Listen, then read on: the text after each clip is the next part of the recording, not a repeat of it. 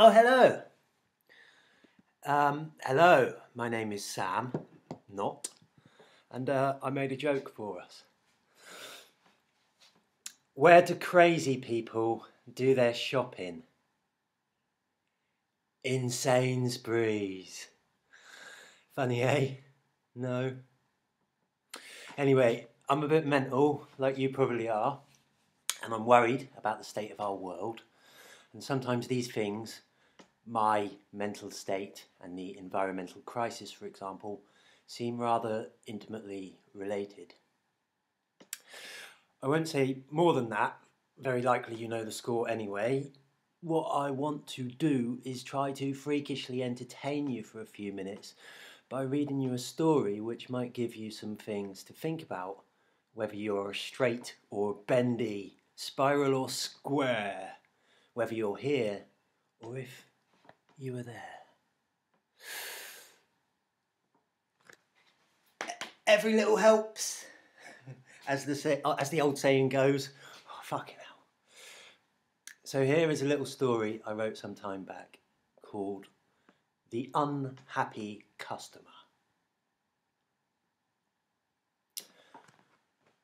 Good afternoon. I'm sorry to disturb you, but on my way out of in Sainsbury's this morning, I saw something new. Outside the revolving doors was a small gazebo branded Psychological Support Tent. There was a supermarket employee inside, sitting on a white plastic chair beside a white plastic sun lounger. I heard a strange wailing sound like a police siren. I became aware that the noise belonged to a middle class housewife struggling towards us, two bulging shopping bags in each hand, face strained, red and contorted like a wet gargoyle. She seemed completely consumed with grief and made to continue on past the tent, but the employee stood up, softly put a hand on each shoulder, and deftly, deftly manipulated the lady into lying down on the sun lounger. The wailing noise spluttered to a stop, and there was a moment's silence in which the unhappy customer stared vacantly up at the roof of the tent. She then seemed to regain a little self awareness, searching the area with her eyes, before settling on the concerned face of the supermarket counsellor. I shall attempt to convey something of their exchange. Counsellor. Dear valued customer, would you like to talk about your experience in store today? Customer. It's ridiculous. I don't understand. I've always managed fine before. Why was this time any different? I knew at the moment I walked in being funneled through the discounted goods section. Normally it makes me mindlessly happy. I give myself free rein to be enticed by every offer. I get such quiet thrills buying things I don't really need. Even though I'm spending, I feel like I'm saving. But not today. It was as if every stupid thing was screaming at me. What have you made of me? Why am I a small fluorescent spade? What is the point of a hundred plastic plates? I worried that I had suffered some kind of aneurysm. I suddenly couldn't see the point in any of the products. Even worse, I had this creepy paranoia, an almost pagan feeling that all these items were made from some sacred, holy substance that I had allowed to be stolen and profaned. I was overwhelmingly sad, so I pushed on through, thinking perhaps if I put some sweet treats in my trolley, I'd feel a little better. But, oh, great woe! It was a full scale psychological assault, a sickening offensive. All these bright plastic covered lumps of blended fat and sugar, all asking me to eat them. Nay, demanding. And inside each, each thin, filmy product of the great mother's blood. What did I just say? Mother's blood? Hmm. At this point, she was sick in her mouth, rigidly holding her hamster cheeks in some kind of shock. But the counsellor soothed her expertly, stroking the back of her head while putting her fingers round her jaw and massaging a little. The tension seemed to leave our dear housewife all of a sudden, the bile spilling out over her quivering chin, wiped quickly away alongside any sense of loss of dignity. Plastic, plastic, plastic. There was plastic inside plastic. I mean, rationally, I still knew that we needed things divided up into little tidy portions, that a bag of toffees would soon become a single hideous, sugary lump in my throat. Shit! Shit! Shit out! Shit it out! Shut up! Shut up! Shut it up! Strokes. And then the meat section. It was too much. There were carcasses on display. Some of the packaged meat pieces were recognisably human. I saw rib cages, rib cages, rivers of blood, sadness and shit, murder, murder, murder. And I'm supposed to eat it, to feed it to my children. It wasn't the idea of death. I can bear that. I grew up on a farm. I've skinned rabbits. I know the natural world works through eating and being eaten. I'm okay. She halted suddenly. Her eyes widened and her voice boomed strangely. Love what you kill, consume what you love. Death is below, and death is above. She sat quietly for a moment, as if trying to process her own weird utterance, then continued on as if nothing had happened.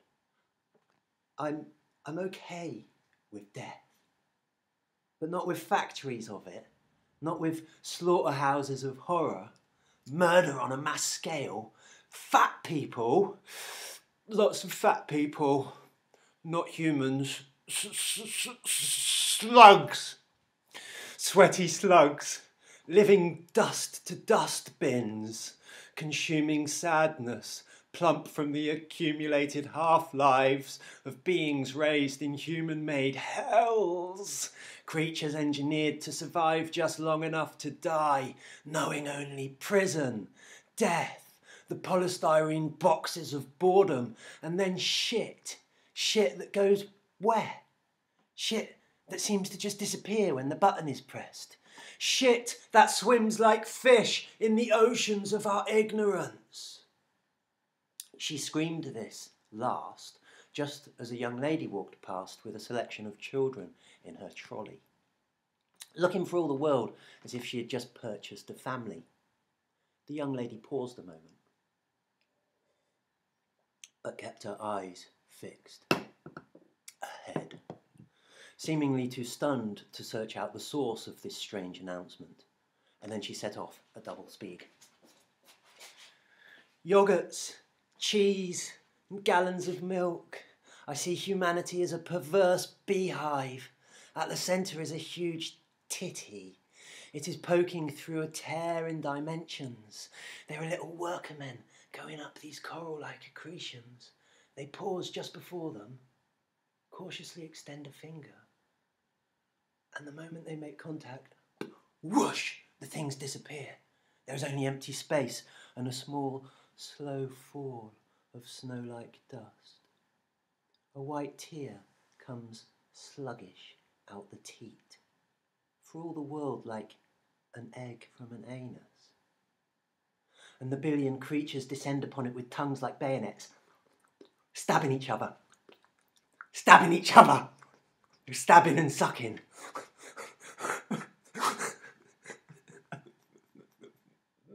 she begins to sob at first softly, but soon her whole body is heaving, and the counsellor takes her in her arms, stroking her head, while the unhappy customer cries into the uniformed bosom. The counsellor looks at me for the first time.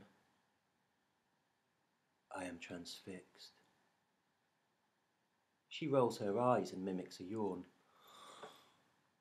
then winks, I feel somehow abused, as if some slithering devil just rubbed their sex raw across my face. I begin to sweat. My stomach requests permission to leave. I cannot grant it.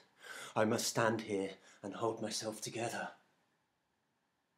The counsellor begins to speak. You are having a stress reaction.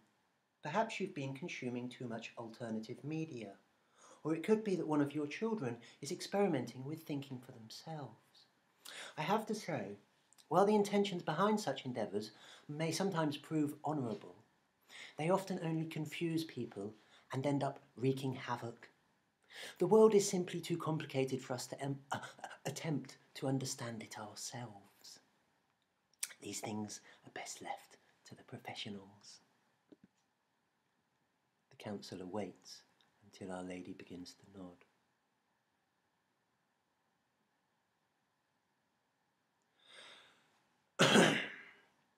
and so I have some very practical advice that will enable you to complete your weekly shop without experiencing such emotional turmoil.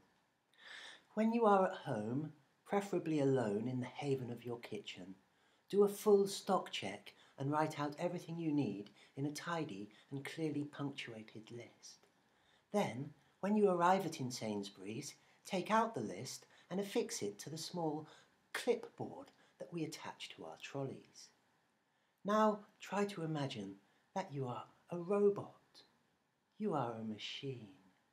Your brain is a computer. Every time you find yourself thinking about something, return your attention to the list.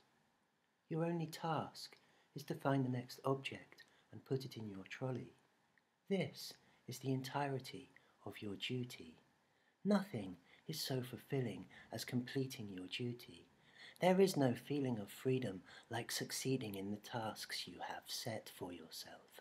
You are a shopping machine, a simple and effective domestic robot. You need not stray from the list. You are completely fulfilled in completion of these objectives. The unhappy customer has been staring straight ahead, a glazed look in her eyes, as if every ounce of energy has been drained from her. After receiving the advice, she slowly turns to meet the unwavering gaze of the supermarket counsellor. They stare at each other in silence for all of three slow breaths.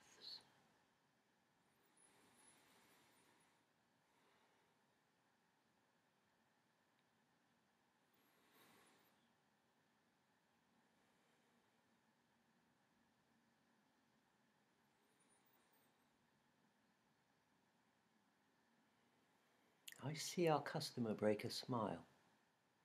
Thank you, you've been very helpful. There are two dark patches on the breasts of the counsellor, formed from tears. They hold my gaze like an amorphous pair of shadow eyes. I feel the warm, comfortable wetness of myself spreading throughout my trousers.